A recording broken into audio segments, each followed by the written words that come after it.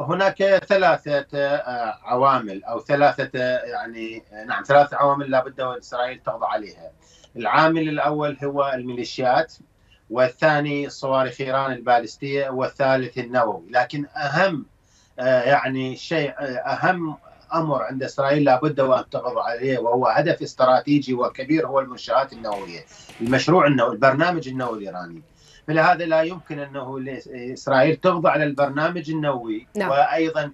تحفظ أنه أو تضمن لا يأتي رد من إيران لابد وأن يعني تدمر الميليشيات الإيرانية في المنطقة وتدمر غدرات غدرات إيران الصاروخية حتى تستطيع أن تدمر المنشآت النووية بدون آه، يعني أي إشكاليات أو أو بدون أي ردود فعل من النظام الإيراني ردا على يعني استهداف المنشآت، أنا أعتقد المنشآت هو أكبر هدف استراتيجي لإسرائيل، ليس فقط إسرائيل، أنا أعتقد جازما بانه ما تقوم فيه إسرائيل هو ليس مشروع إسرائيلي، وهو ليس حرب إسرائيل وحدها في المنطقة، بل هي إسرائيل هي الواجهة المشروع الغربي، لماذا؟ لأن أعتقد أنه سياسة ردع إيران أو سياسة احتواء إيران وسياسة تعديل سلوك إيران الذي استمر طويلا سنوات طويلة من قبل الولايات المتحدة الأمريكية والغرب من جهة وأيضا إرغام طهران إلى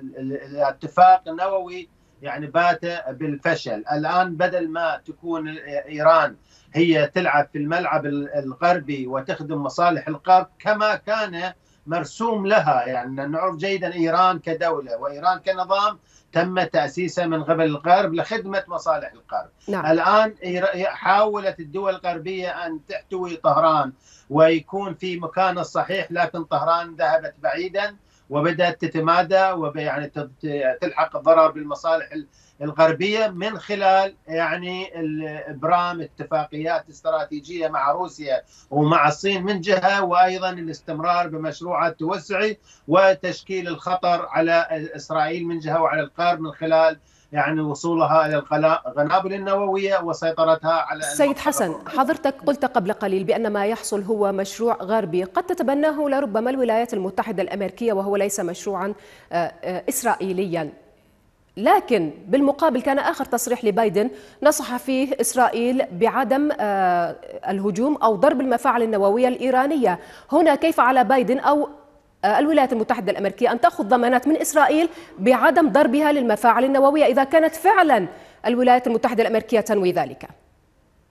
لا طبعا هناك تصريحات وهناك أفعال على الأرض، نعرف كل التصريحات الأمريكية خلال سنة في حرب على غزة كانت يعني خاصة في الأشهر الأخيرة كانت إنه آه، أمريكا من دعاة السلام ومن دعاة يعني وقف إطلاق النار ومن دعاة كثير من هذا الكلام الدبلوماسي الجيد والضغط على إسرائيل لكن على أمر الواقع الأمر مختلف. يعني دعم إسرائيل يعني عسكريا وسياسيا وفي كل المحافل فتح مخازن السلاح الأمريكي إلى إسرائيل. حتى في قبل أسبوعين أعطت آه، يعني أمريكا 8.7 مليار آه، دولار إلى مساعدات عسكرية لإسرائيل، كل هذا يؤشر إنه إسرائيل آه، عفوا أمريكا تتحدث شيء ولكن تفعل شيء آخر، لا ولا يمكن أن أمريكا تترك إسرائيل وحدها في معركة كبيرة مثل معركة مع طهران، لذلك ولكن لا تريد أنه الآن أمريكا تريد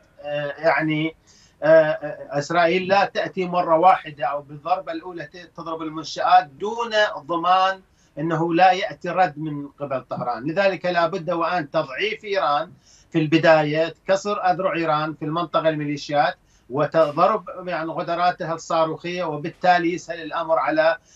على إسرائيل أن تدمر المنشآت أو إيران تستسلم أسف يعني عندما وتخضع لأمر الواقع وكل شروط الولايات المتحدة الأمريكية، لذلك أنا أعتقد أنه كما قلت مشروع غربي والآن الوقت أصبح متاخرا. الآن لأول مرة أنه